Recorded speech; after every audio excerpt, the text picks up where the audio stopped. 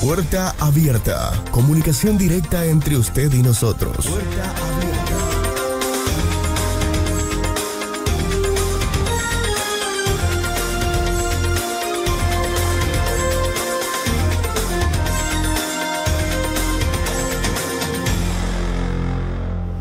Bienvenidas y bienvenidos a un nuevo informativo del Gobierno Autónomo Descentralizado Municipal del Lago Agrio.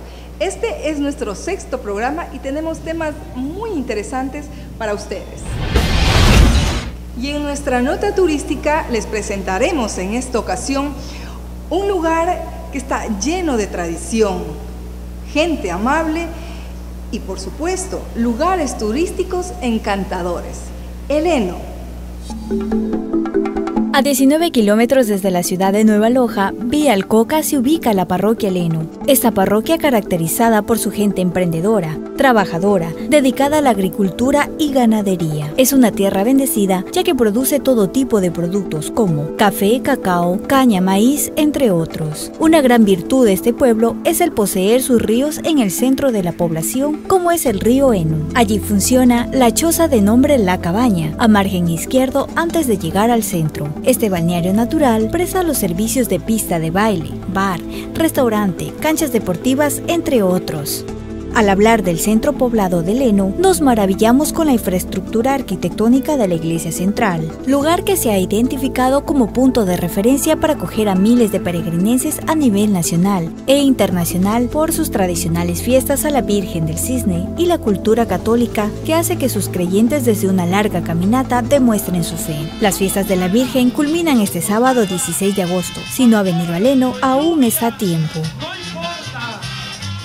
La alcaldía del Lago Agrio diariamente cumple una agenda muy extensa en beneficio de sus ciudadanos.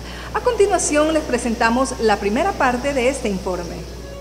El representante de la Defensoría del Pueblo Nacional, el doctor Ramiro Rivadeneira, visitó al alcalde Vinicio Vega el pasado 31 de julio, con la finalidad de coordinar trabajos a favor de la población del cantón. Posteriormente, el alcalde Vinicio Vega se trasladó al cantón Chuchufindi en compañía de los concejales, María Esther Castro, Javier Pazmiño y funcionarios municipales. A la última morada de quien en vida fue Jorge Cajas, alcalde de Chuchufindi, en muestra de solidaridad con sus familiares y amigos. La última actividad del 31 de julio que cumplió el personero municipal fue al reunirse con los delegados de las compañías OCP y Betra para conversar sobre la transportación terrestre de petróleo en carros tanques desde Colombia a Ecuador, según el acuerdo binacional firmado entre los países hermanos. Por su parte, Flor Jumbo, el primero de agosto, en calidad de alcaldesa encargada, se movilizó hasta las instalaciones de la compañía petrolera OCP Ecuador para conocer de cerca el trabajo de la empresa y entablar estrategias de trabajo en bien de la población, conjuntamente con los consejos Javier Pazmiño, Gandhi Meneses, María Esther Castro, Miño, alterna de Teófilo Zamora, y Yadi Gómez, presidenta del patronato, directores y funcionarios municipales el pasado primero de agosto mientras que la primera autoridad municipal, Vinicio Vega, participó del tercer encuentro de autoridades de fronteras en Puerto Asís, Colombia, con el lema denominado Fronteras Unidas, Desarrollo y Oportunidades. Allí los participantes expusieron varios temas, priorizando el fortalecimiento del comercio y turismo de ambos países, Ecuador y Colombia.